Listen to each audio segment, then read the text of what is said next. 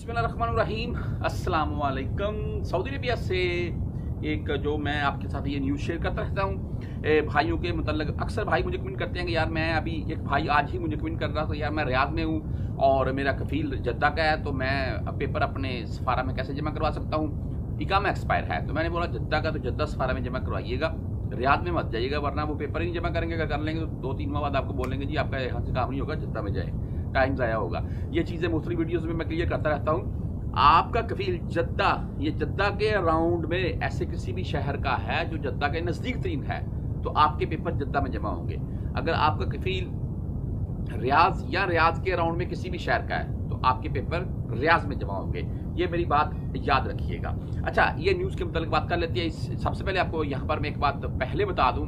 आज भी एक भाई मुझे यहाँ मिलने आए हुए थे और डिस्कस चली जी किस मामले के ऊपर। जब वो बोल रहे थे कि ये जो आप पेपर निकलवाते हैं, मतार का, ये बेकार है, इससे पता नहीं चलता। तो मैंने बोला, मतार का पेपर कौन सा? वो मुझे आगे से खरूज वाला पेपर दिखा रहा है। मैंने बोला, भाई, ये खरूज वाला पेपर है। तेरी बात बिल्कुल राइट है। ये साथ में आपको दिखा रहा हूँ मैं, ये पेपर बेकार है। बेकार कैसे है? ये जब आप वहाँ से खरूज लगवा कर आ रहे हैं सऊदीया से, उस टाइम आपको एयरपोर्ट के ऊपर इसकी ज़रूरत पड़ सकती है।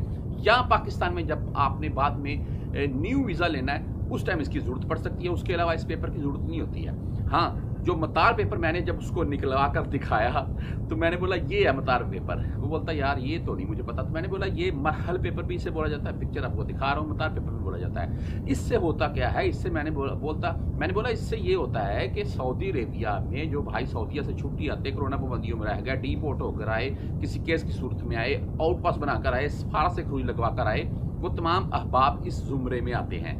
यानी कि आप न्यू वीज़ा लेने से पहले अपना स्टेटस तो चेक करवाएँ ना भाई, कि आपके ऊपर कोई पाबंदी तो नहीं है? अगर पाबंदी नहीं है तो न्यू वीज़ा ले, सफ़र करें, कोई टेंशन नहीं। अगर पाबंदी है तो फिर आप मुमकिन कब तक जा सकते हैं? ये चीज़ें होती हैं, इस पेपर से क्लियर मैंने बोला। तो बहरहाल व्हाट्सअप नंबर भी मैंने आपको दिखाया।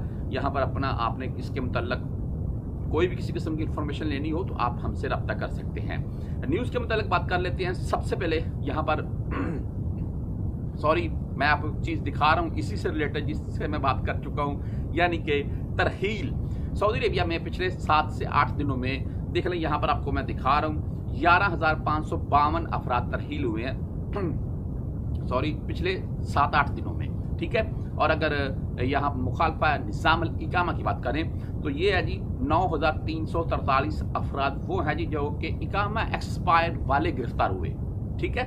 इनमें अगर मुखालफा निज़ाम, अमन अल हदूद, चार हज़ार एक सौ सात बंदे हैं जी। गैर कानूनी तरीके से इंटर होते या निकलते हुए। एंड मुखालफा निज़ाम अमल, ये भी एक काबिल गौर चीज़ होती है। इसमें दो हज़ार आठ सौ अठतीस अफराद हैं जी, ठीक है? ये वो बंदे हैं जो बदून कफील साइखास आमल मंजली ये कंपनी से बात कर, बाहर कहीं अपना काम कर रखे हैं तो पकड़े जाएँ तो वो बदून कफील के जुमरे में रख कर इनको डिपोर्ट कर दिया जाता है। वो बंदे भी इसी में आते हैं। टोटल की बात करें तो सोलह हज़ार दो सौ अट्ठासी बंदे पिछले सात से आठ दिनों में सऊदी अरबिया में मुखालफा निज़ाम इकामा हरूब मतलूब वाले गिरफ़्तार किए गए